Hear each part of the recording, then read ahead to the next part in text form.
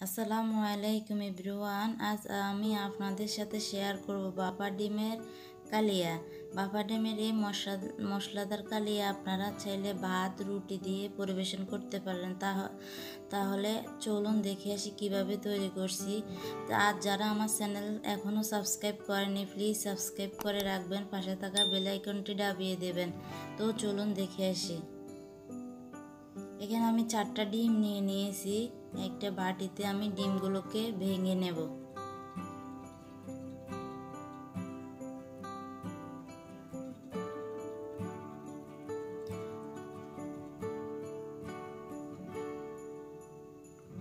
অবশ্যই সম্পূর্ণ ভিডিওটা দেখবেন আমি কীভাবে এই বাপা ডিমের কালিয়াটা তৈরি করি। আমি একটি হ্যান্ড ব্রিটার দিয়ে ডিমগুলোকে ভালো করে ফেটিয়ে নিচ্ছি। এখানে আমি স্বাদ মতো লবণ দিয়ে দিচ্ছি। কেননা ডিমগুলোকে আমি সিদ্ধ করব তাই ভাপ দিয়ে।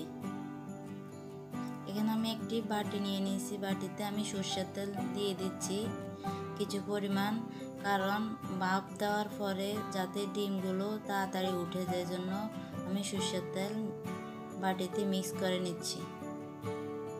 এখন আমি মিক্স ডিমগুলো দিয়ে দিচ্ছি।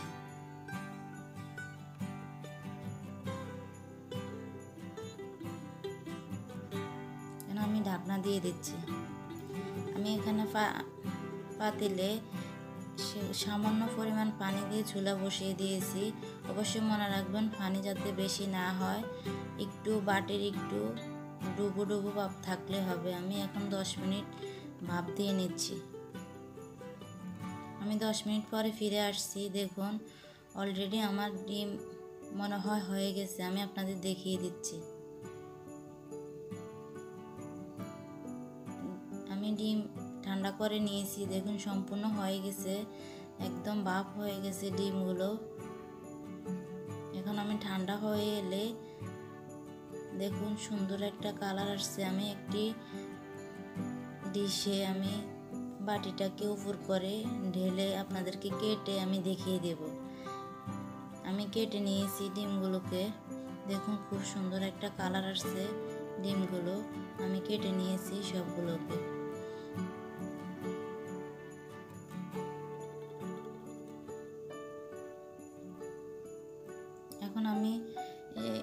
চা চামচ পরিমাণ হলুদের গুঁড়া এবং হাফ চামচ পরিমাণ লাল মরিচের গুঁড়া দিয়ে আমি ম্যারিনেট করে নেব। ডিমগুলোকে আমি ভেজে নেব। কেননা ডিমগুলো ভাপে আছে, একটু ভেজে নিলে ডিমগুলো শক্ত হবে। এজন্য আমি ম্যারিনেট করে নিচ্ছি হলুদ দিয়ে, যাতে সুন্দর একটা কালার আসে। আমি চুলে চলে এসেছি। আবার রান্না করতে। এখানে আমি একটা পাইপেন বসিয়ে দিয়েছি। পাইপেনে আমি এক টেবিল চামচ পরিমাণ বেসনকে আমি টেলে সুন্দর একটা কালার আসা পর্যন্ত অপেক্ষা করব। বেসন দেওয়ার কারণটা হচ্ছে যাতে বাপা সে মশলার সাথে ডিমগুলো একটু ঘন ঘন ভাব চলে আসে। আমি আমি এবার এই জন্য বেসনকে আমি টেলে নিচ্ছি। একটা সুন্দর ইয়ামি গ্রান আসার জন্য আমি বেসনগুলোকে এখন তুলে নেব। বেসনগুলো তুলে নিয়ে আমি পাইপেনটা ধুয়ে নিয়েছি।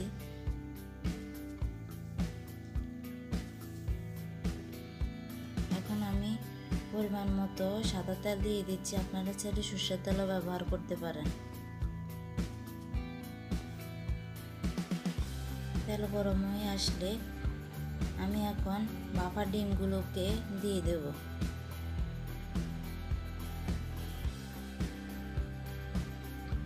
দুই থেকে তিন মিনিট ভেজে নেব, কারণ বেশি ভাজা হয়ে গেলে একটু শক্ত শক্ত ভাব চলে আসবে, তাই আমি বেশি ভাজবো না। এই দুই মিনিট ভেজে নিয়ে আমি তুলে নিয়েছি। এখন আবার আমি তেল দিয়ে দিচ্ছি একটা তেজপাতা, একটা দারচিনি, তিনটা এলাচ দুটা শুকনো মরিচ এবং সামান্য পরিমাণ জিরা দিয়ে আমি একটু ভেজে নিচ্ছি একটা গ্রান আসার জন্য। এখানে আমি ছোট ছোট পিস করে পেঁয়াজ কুচি করে নিয়েছি। এখানে আমি জিরা গুঁড়া এক চা চামচ, ধনে গুঁড়া এক চা চামচ নিয়ে নিয়েছি। এবং আমি গরম মশলা হাফ চা চামচ নিয়ে নিয়েছি। টমেটোকে আমি ছোট ছোট কুচি করে নিয়েছি। আপনারা চাইলে ব্লান্ড করে নিতে পারেন। আমি এগুলোকে একটু ভেজে নেব। দিয়ে দিচ্ছি। এখন আমি ভালো করে ভেজে নেব। এবং আমি লাল মরিচের গুঁড়া হাফ চা চামচ, হলুদের গুঁড়া হাফ চা চামচ, এখানে আমি পেটানো টক দই দিয়ে দিচ্ছি। আমি ভালো করে এগুলোকে কষিয়ে নেব। কষানো হয়ে আসছে। এখন আমি বেসনগুলোকে দিয়ে মিক্স করে নিচ্ছি। বেসনগুলো দিলে আপনার ঝোলগুলো অনেকটা ঘন হয়ে আসবে। এখানে আমি আদা বাটা এক চা চামচ, রসুন বাটা এক চা চামচ দিয়ে দিচ্ছি। এখন আমি পরিমাণ মতো পানি দিয়ে দিচ্ছি। বেশি পানি দেওয়ার প্রয়োজন নাই, কেননা ডিম আছে। এখন আমি বাবা ডিমগুলোকে মশলার সাথে দশ মিনিট রান্না করে নেব। এখন মিক্স করে নিচ্ছি। আমি ডাকনা দিয়ে দশ মিনিট পরে ফিরে আসছি। দশ মিনিট পরে আমি চলে এসেছি। তিনটে কাঁচামরিচ দিয়ে দিচ্ছি ফ্লেভার আসার জন্য। এখন ঢাকনা দিয়ে আমি কিছুক্ষণ অপেক্ষা করে আপনাদেরকে পরিবেশন করে দেখিয়ে দেবো। দেখুন, সুন্দর একটা কালার আসছে। খেতে অনেকটাই ইয়ামি। আপনারা অবশ্যই দুপুরে ট্রাই করবেন। আর যদি আমার রেসিপিটা আপনাদের ভালো লাগে, প্লিজ কমেন্টস করে জানাবেন এবং আমার চ্যানেলটা সাবস্ক্রাইব করে রাখবেন। আল্লাহ হাফেজ।